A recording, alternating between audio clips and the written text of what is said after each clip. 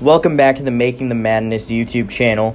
Sean back again for another video today on some more transfer related news. This one is pretty unexpected but huge news in the college basketball landscape.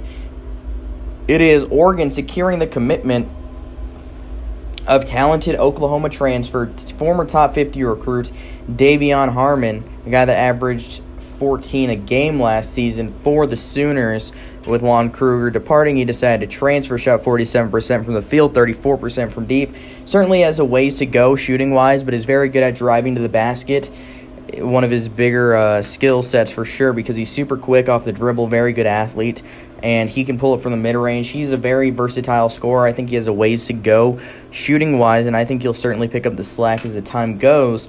Oregon, they're losing a lot from last season's team. You look at Chris Duarte, he is going pro. He's going to be a first round pick. LJ Figueroa, he's going to play uh, pro ball, probably a G League guy. And then you look at Eugene, Eugene Omoruyi, he is not using the free year either. He will be moving on also.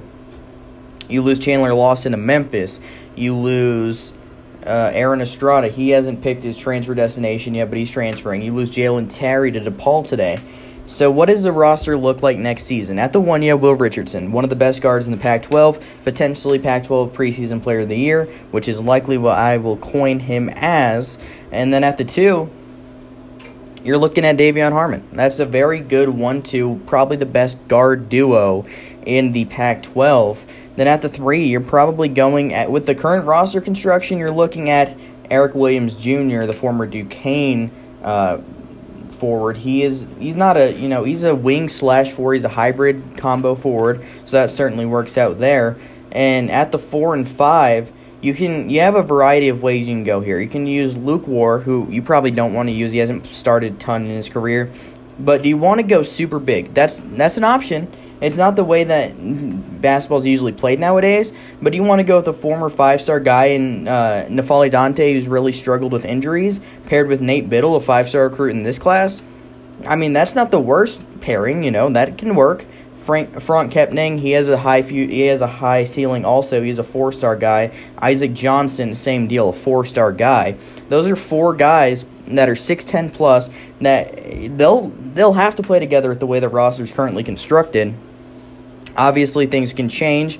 They're in on a lot of different guys via the transfer portal. They're looking at a lot of JUCO guys. They currently have offers out for Rivaldo Soares and Tyrone Williams, two talented guards. Soares is from South Plains, one of the best teams in all of JUCO hoops, and Tyrone Williams, one of the best scorers in JUCO basketball last season, also a shooting guard.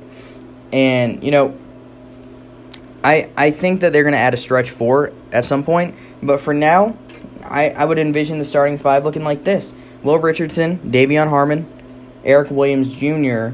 You're going to go Nate Bittle at the four and N'Faly Dante at the five, and that's a good basketball team. It's not deep because you only have about eight scholarship guys right now. You have guys to add without a doubt, but Dana Altman knows how to reconstruct rosters, and he will certainly figure out a way to make this roster better than it looks right now. And it looks good right now. It just is missing a few pieces, but he'll pick up the pieces, find out how to make it work. Maybe he'll look at Tre Mitchell, a guy, the top transfer on the board.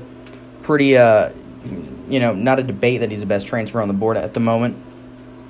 You can add him. You can add Dylan Disu from Vandy. Those are two guys that add a lot of versatility. But if you can add a guy like Tre Mitchell, that changes the entire outlook because he's a guy that could play the four and he can hit threes at a high clip. So if you're able to add a guy like that that can stretch the floor, that changes what Oregon is. But at the moment, they're a really good basketball team that should make another NCAA tournament and be a contender in the Pac 12. Uh, thanks for checking this video out. Definitely appreciate the support. Jonathan and I are going to continue pumping out this content. Definitely like and subscribe. Until next time, have a good one.